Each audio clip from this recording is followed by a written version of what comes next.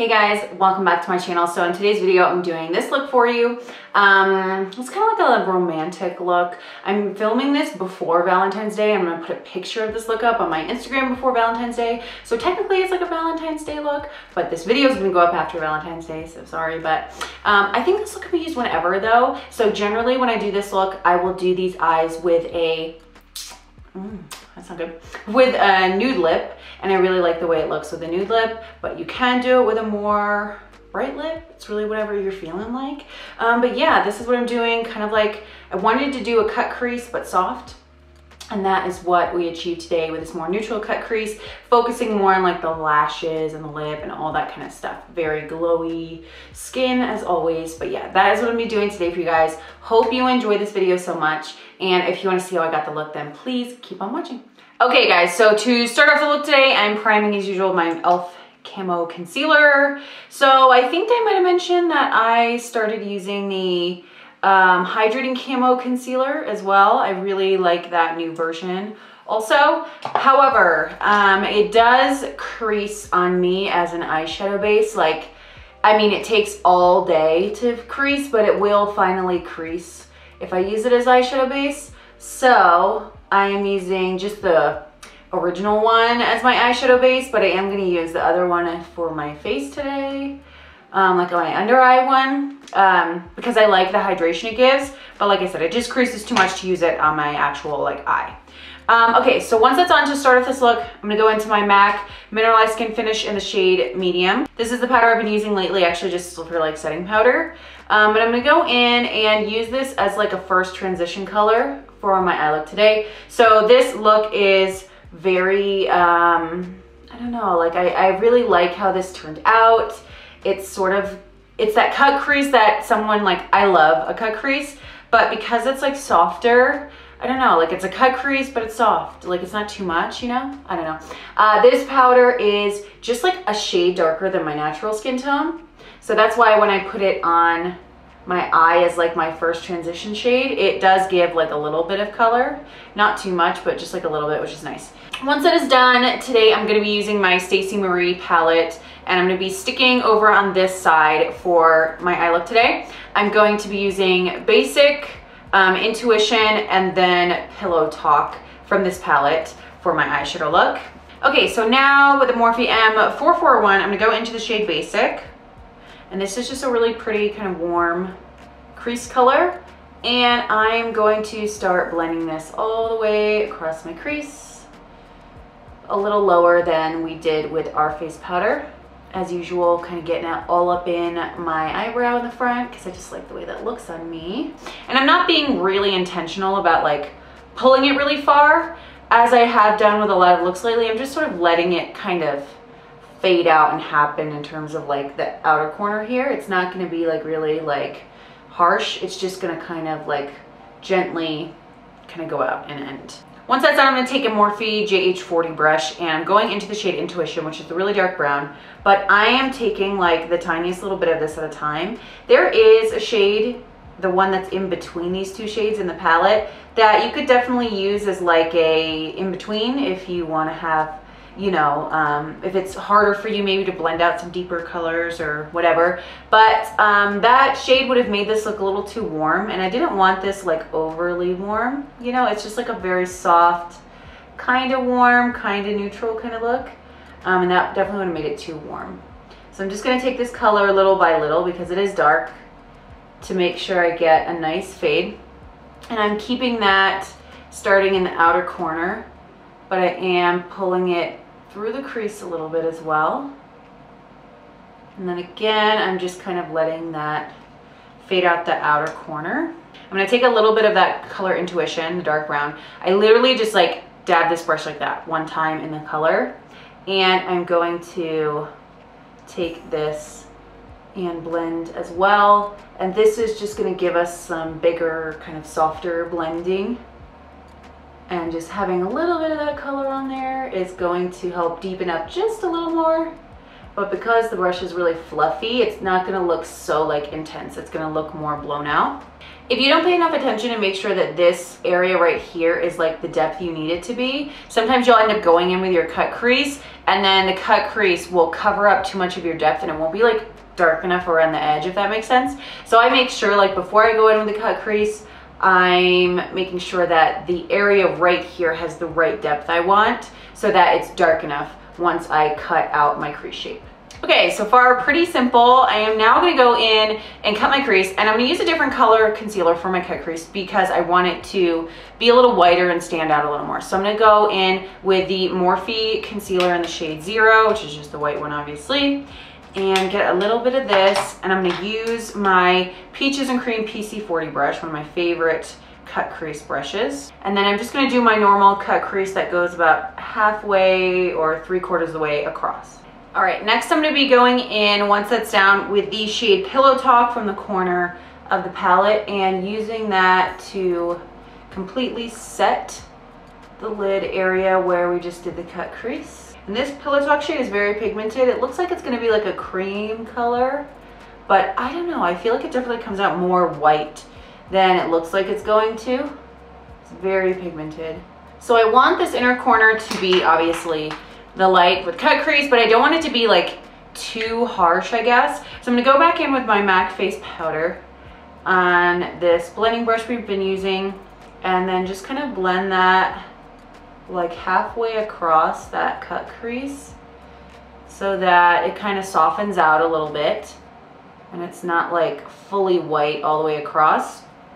I'm gonna go in with basic on the same brush and do kind of the same thing, just leave that more so in the outer corner. And then I'll go back with the smaller uh, brush and the shade Intuition, the darkest one, and then kind of do the same thing.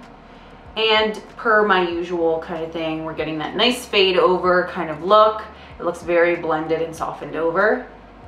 And it takes away a little bit of the harshness of the white. For the inner corner, I'm gonna take the same MAC 242 brush and I'm gonna use the um, Cookie Highlight from Benefit. Absolutely beautiful. And then I'm just gonna use this on my inner corner.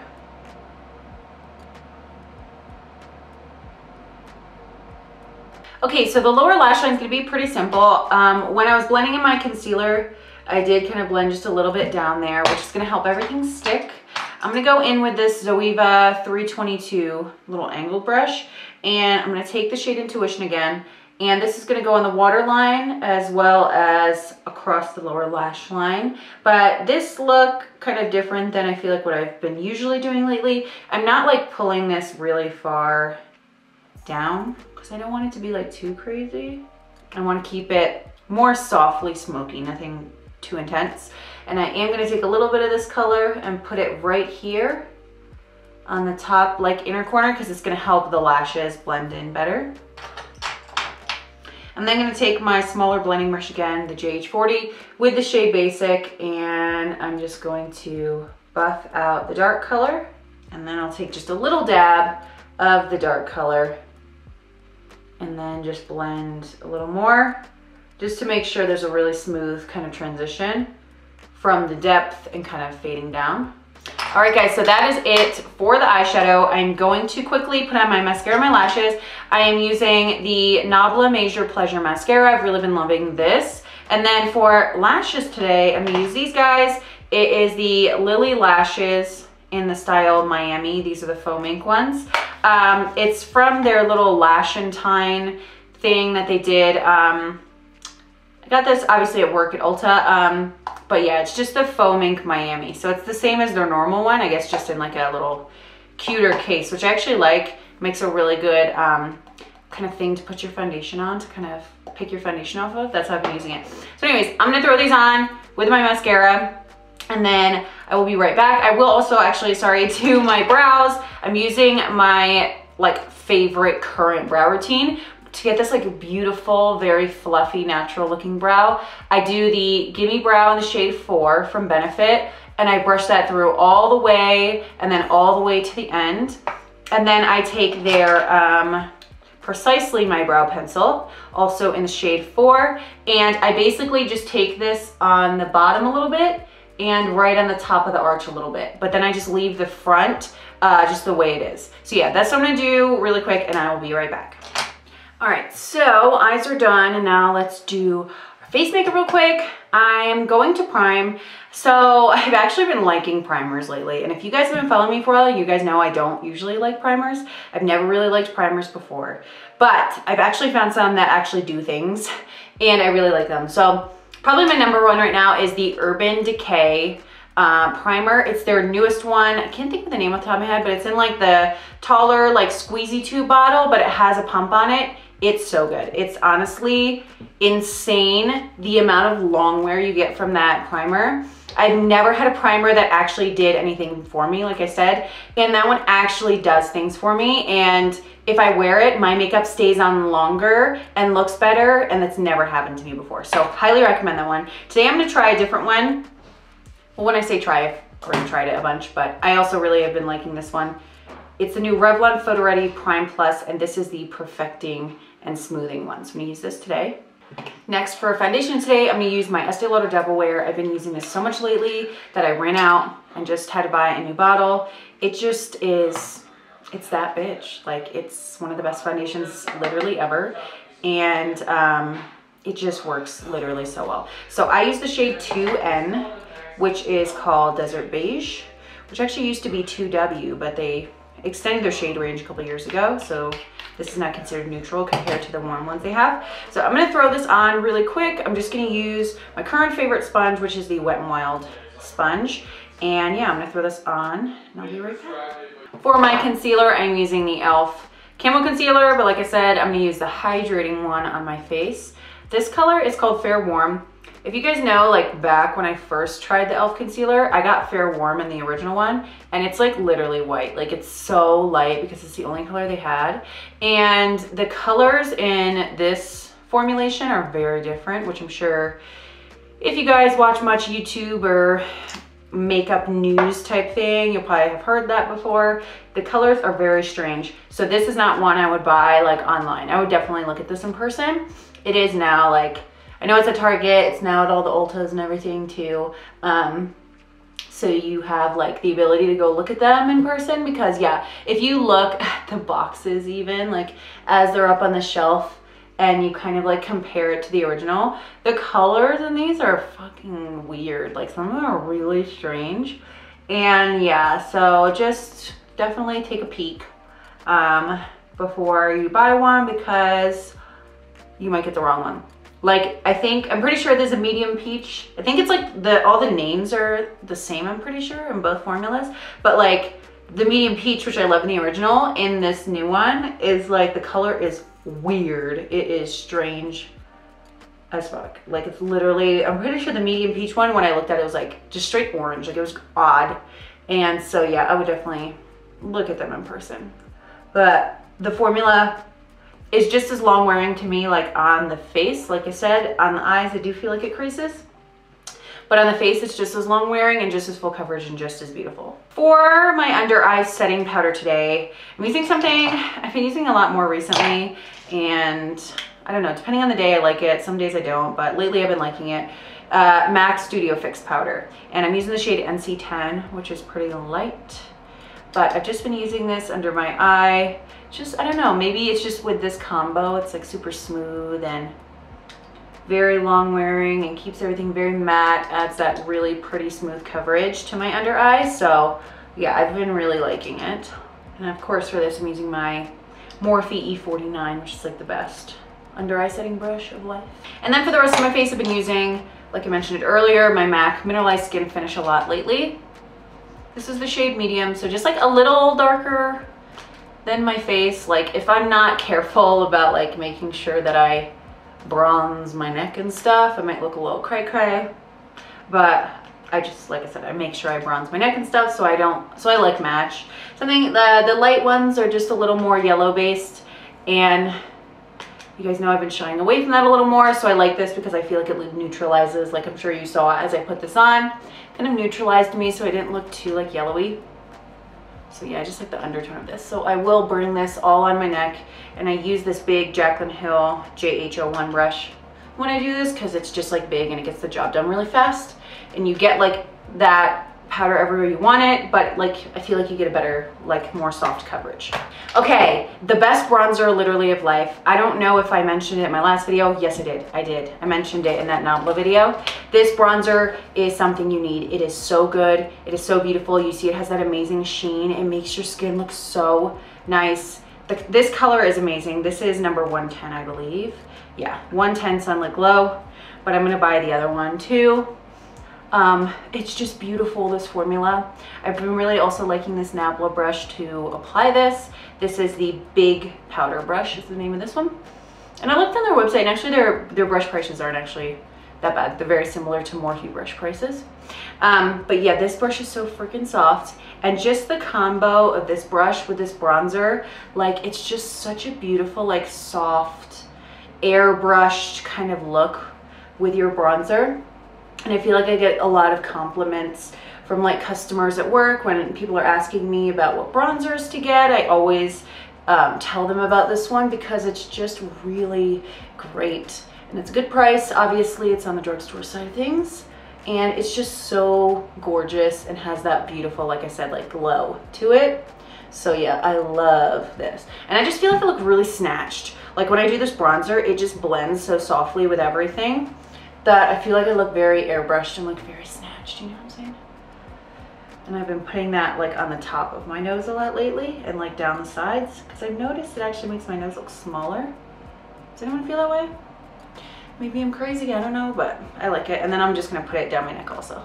For blush today, I'm using one of my favorite. This is MAC New Romance Mineral Blush. It's just like a really pretty, soft, like corally pink has a really pretty sheen to it and blends super well. And of course, my favorite blush brush. This is the Morphe M554. I literally use this every single day for my blush because it's really soft and like the perfect size and shape. Of course, putting that heel. For my highlight today, I'm also going to be using Cookie, which I used on my inner corner just because I like her. She's cute. So I'm going to put this on with a MAC 184 fan brush. I don't even know if they make this anymore, but I love this brush. I've gotten used to how light this is. You guys know when I first used this, I was like, mm, this is kind of really light on me. And it looks kind of like white casty, but I don't know. Maybe it was the way I used it the first couple times, but I've been liking it lately. And then generally with this kind of, drop everything. Generally with this kind of look, I would just do a nude lip, but today I want to do like a red lip and be fun because why not? And I want this to be like a romantic look. I'm posting this look um, for like a Valentine's Day on my Instagram. It's not going to be up Valentine's Day, obviously, on YouTube, but um, I want to post it for Valentine's Day on my Instagram. So yeah, I think I want to do a red lip. So I'm going to grab that. So for a lip liner, I'm going to use Fire Roasted Liptensity Lip Pencil from MAC, which I don't think they make anymore, but any kind of like dark red. And then I'm gonna try this. I've never tried this before, um, but I really wanna try this formula because I haven't had a chance to use yet. This is the liquid lipstick from Nabla in the shade uh, Vicious. But I think these are like more of a creamy liquid lipstick, not like a super harsh matte. So yeah, I'm gonna use those two today for my lip.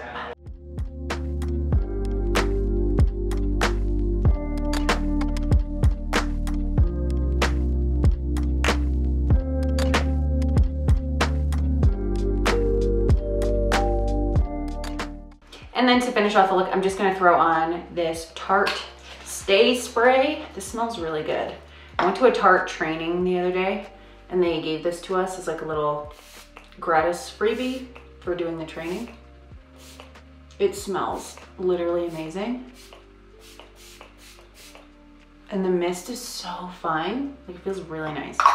Okay guys, so here it is, finished look. Hope you guys liked this video. Like I said, I, I really like this look with the nude lip. I'll probably wipe this off and put on a nude lip before I go to work. Um, but yeah, that is it. Hope you guys enjoyed this video. Thank you so much for watching as always, and I will see you next time. Bye.